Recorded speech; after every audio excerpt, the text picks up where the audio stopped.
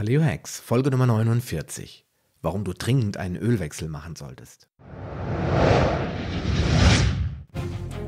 Paleo Hacks, der Podcast für deine persönliche Ernährungsrevolution. Mein Name ist Sascha Röhler und ich begleite dich auf deinem Weg zu weniger Gewicht und mehr Gesundheit. Bist du bereit für den nächsten Schritt? Ja, hallo und herzlich willkommen zu Episode Nummer 49 des Paleo Hacks Podcast. Heute möchte ich dir ein wenig mehr über die verschiedenen Fette und Öle erzählen, denn ich habe heute Morgen mal wieder eine Diskussion in einer Paleo-Gruppe verfolgt, in der ein Artikel aus einem einschlägigen Magazin gepostet wurde. Der Autor behauptet darin, dass Kokosöl total überschätzt würde und es ganz im Gegenteil nicht wirklich gesundheitsförderlich, sondern äußerst fraglich wäre. Es wurden erneut die veralteten Vorurteile über die Gefährlichkeit von gesättigten Fettsäuren vorgeschoben, um den sehr positiven Ruf des Kokosöls zu schädigen. Nachdem dort eine hitzige Diskussion entbrannt war, musste ich das Thema einfach mal aufgreifen und dir in dieser Episode meine Sicht der Dinge dazu schildern.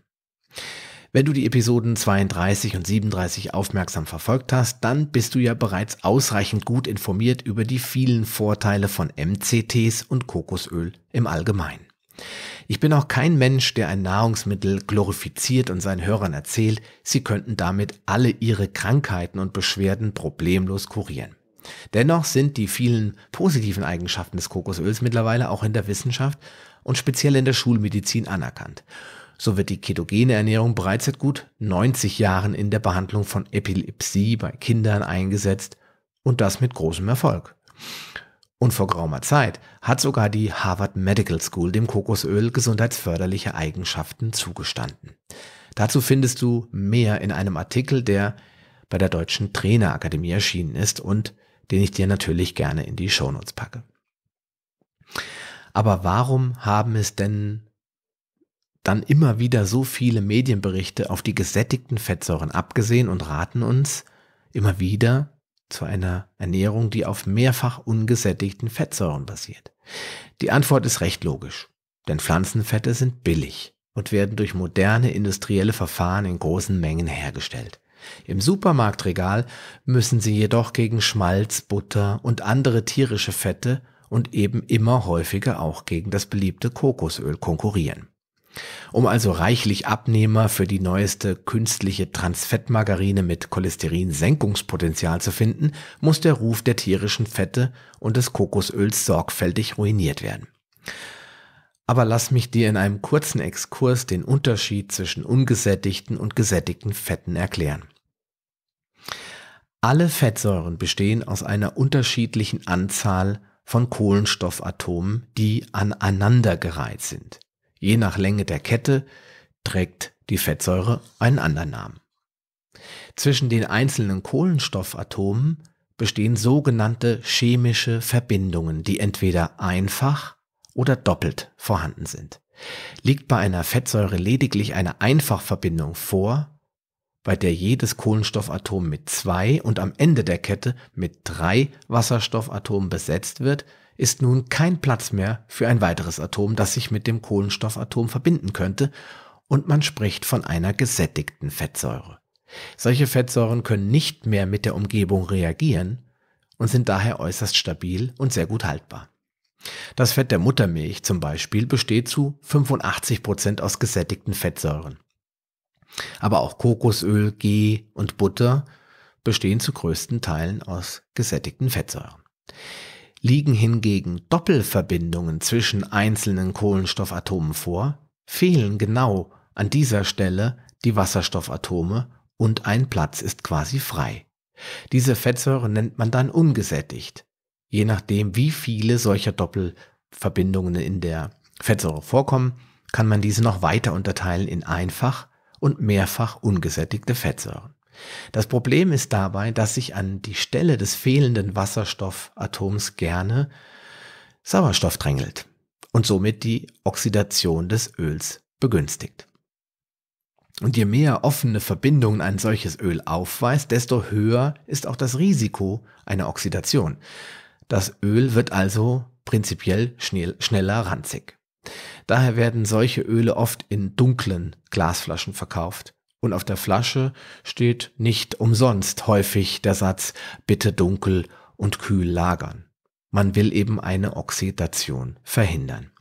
Aufgrund schlechter Lagerung, denn während des Transports werden diese Flaschen, diese Öle selten gekühlt, kann das auch schon vor dem Verkauf passieren, so dass du dann als Kunde ein Öl konsumierst, das bereits ranzig ist und das im Körper oxidiert. Welche Öle enthalten ungesättigte Fettsäuren? Eigentlich kommen Fettsäuren in den seltensten Fällen völlig isoliert, sondern oft in einer Mischung mit anderen Fettsäuren vor. Das heißt, sie sind nicht immer nur zu 100 Prozent ungesättigt, einfach oder mehrfach, sondern es gibt immer ein gewisses Mischungsverhältnis. Die meisten Pflanzenöle, mit Ausnahme von Kokosöl und Kakao, enthalten jedoch ungesättigte Fettsäuren. Das bekannteste Öl, das ausschließlich einfach ungesättigte Fettsäuren enthält, ist das Olivenöl. Daher gilt es auch als recht stabil und wird selten ranzig. Alle anderen Öle bestehen zu größten Teilen aus mehrfach ungesättigten Fettsäuren. Sie sind aber auch in fetten Fischen zu finden und die bekannten Omega-3 und Omega-6-Fettsäuren gehören ebenfalls in diese Kategorie. Ja, und was ist jetzt das Problem mit diesen Pflanzenölen? Alle Pflanzenöle, eben mit Ausnahme von Olivenöl, das Omega-9-Fettsäuren enthält, und dem bereits erwähnten Kokosöl, das zu den gesättigten Fetten zählt, sind reich an Omega-6-Fettsäuren. Und diese gelten allgemein als entzündungsförderlich proinflammatorisch. Auch das hatte ich schon mal erklärt. Der Anteil an Omega-3-Fettsäuren ist zwar nicht so schlecht wie bei anderen Ölen, dennoch liegen diese ausschließlich in Form von sogenannten Alpha-Linolensäuren vor. Also ALA steht in dem Fall für Alpha-Linol-Acid. Und diese Alpha-Linolensäure, die kann unser Körper nur zu fünf Prozent in wertvollere Formen, wie das EPA und das DHA umwandeln. Das sind die wertvollen Omega-3-Fettsäuren oder Bestandteile. Und die sind zum Beispiel reichlich im fetten Seefisch wie Lachs, Hering und Makrele vorhanden. Aufgrund der Instabilität, äh, Instabilität werden solche Öle oft stabilisiert. Also man versucht sie zu härten, um sie auch dadurch länger haltbar zu machen. Und dabei wiederum können gefährliche Transfettsäuren entstehen. Denke zum Beispiel nur an Margarine oder das bekannte Pflanzenfett Biskin. Das sind alles sogenannte gehärtete Pflanzenfette. Ja, und was hat es auf sich mit der Mehr vom gesunden Rapsöl? In den letzten Jahren konnte man beobachten, wie ein spezielles Öl auffällig gehypt wurde, obwohl die Rapspflanze vor ein paar Jahrzehnten noch als toxisch galt und das daraus gewonnene Öl reich an der umstrittenen Erucasäure war. In, de, in, Europa oder speziell in der EU gibt es daher auch schon seit längerer Zeit einen Grenzwert für Erucasäure von 5%, den ein solches Rapsöl folglich niemals überschreiten darf. Und aus diesem Grund wurde die Rapspflanze über Jahrzehnte einfach immer weiter genetisch verändert. Also so lange zurechtgezüchtet, bis man es geschafft hat, diesen Grenzwert einzuhalten, also einen Irocasäurewert von 5% nicht zu überschreiten. Ob äh, Irocasäure gesundheitsschädlich ist, ist jetzt äh, allerdings immer noch sehr, sehr umstritten. Ich gehe davon aus, ja, aber es gibt keine ein eindeutigen Beweise, dass das immer und in jedem Fall schädlich ist. Und deswegen möchte ich auch in diesem Podcast gar nicht weiter auf das Thema Irocasäure eingehen. Vielleicht in einer anderen Folge. Darüber hinaus ist der Aufwand, um aus der natürlichen Rapspflanze ein genießbares Öl herzustellen, derart hoch und das Ergebnis nun wirklich kein geschmackliches Wunder, so dass ich mir natürlich die Frage stelle, warum überhaupt noch Rapsöl verwenden? Schließlich ist Olivenöl viel, viel leichter zu gewinnen, deutlich stabiler und schmeckt auch viel besser. Vor Dingen gibt es auch unglaublich viele Geschmacksnuancen, je nachdem, wo die Olive geerntet wurde. Das heißt, wo sie gewachsen ist, ob es eine grüne oder eine schwarze Olive ist, ob es eine spanische, eine griechische oder eine türkische Olive ist und so weiter und so fort. All das hat man im Rapsöl bei weitem nicht. Ja, angeblich kann man Olivenöl ja nicht zum Braten verwenden. Das ist nicht unbedingt grundlegend falsch, aber auch nicht pauschal richtig, denn man kann Olivenöl sehr gut mit anderen Fetten anreichern. Man kann also Olivenöl mit Kokosfett oder mit Schmalz vermengen und dabei dabei dann einen höheren Rauchpunkt erreichen, so dass ich das auch zum Braten verwenden kann. Außerdem wird ja nicht alles bei Maximaltemperatur gebraten. Da müssen wir sowieso als Menschen ein bisschen drüber nachdenken, ob wir alles bei 190 Grad frittieren oder ob wir manche Sachen eben mal ein bisschen vorsichtiger braten oder zubereiten. Und da Olivenöl ja ausschließlich aus Omega-9 Fettsäuren oder ausschließlich Omega-9 Fettsäuren enthält, brauchst du natürlich noch Alternativen für Omega-3 und die gewinnst du oder die kannst du bekommen eben aus Fisch, Wild, Fleisch und Eiern aus Weidehaltung. Ja, Fazit. Wenn du bisher der Deutschen Gesellschaft für Ernährung und den Medien geglaubt hast und auf gesättigte Fette verzichtet hast, ist es vielleicht Zeit, einen Ölwechsel zu machen und pflanzliche Fette bis auf wenige Ausnahmen aus deiner Ernährung zu streichen. Diese Ausnahmen sind in meinen Augen Kokosöl und Olivenöl. Allerdings gibt es auch noch andere Öle, die in Anführungsstrichen relativ unproblematisch sind. Du musst einfach mal ein bisschen genauer dich damit beschäftigen. Da haben wir zum Beispiel das mittlerweile sehr beliebt, aber auch recht kostspielige Avocadoöl.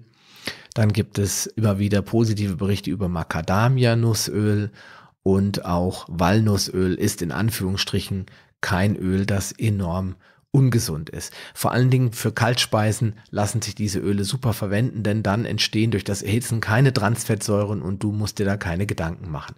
Das trifft vor allen Dingen auch auf das ja, Omega-3 reichste Öl, das es in der Natur gibt, das Leinöl zu.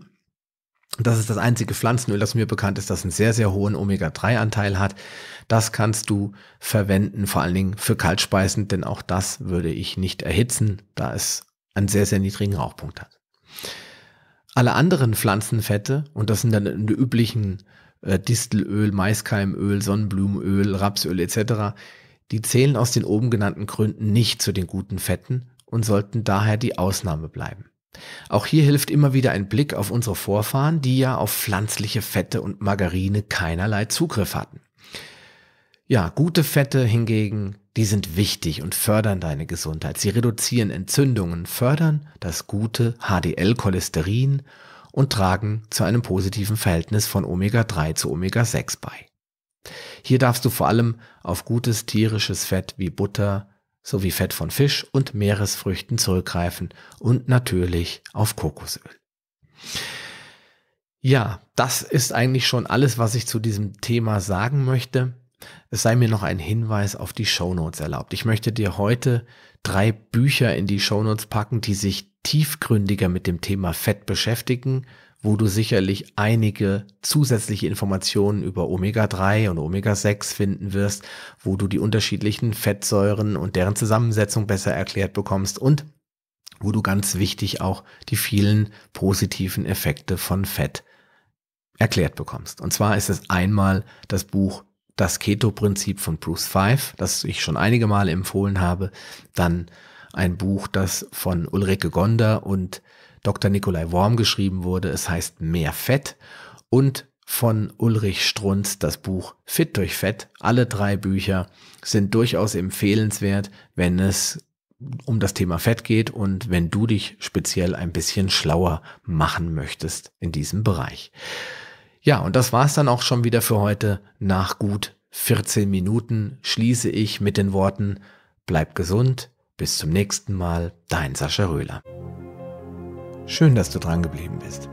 Auf paleohacks.com findest du weitere nützliche Informationen, die dir helfen, deine Ziele zu erreichen. Zum Beispiel Rezepte, Buchtipps und vieles mehr. Wenn dir dieser Podcast gefallen hat und du etwas für dich mitnehmen konntest, dann erzähle deinen Freunden davon und leite ihnen den Link zum Podcast weiter. Ich freue mich, dich bei einer der nächsten Folgen wieder begrüßen zu dürfen und wünsche dir viel Erfolg bei der Umsetzung deiner persönlichen Ziele. Bleib gesund, dein Sascha Röhler.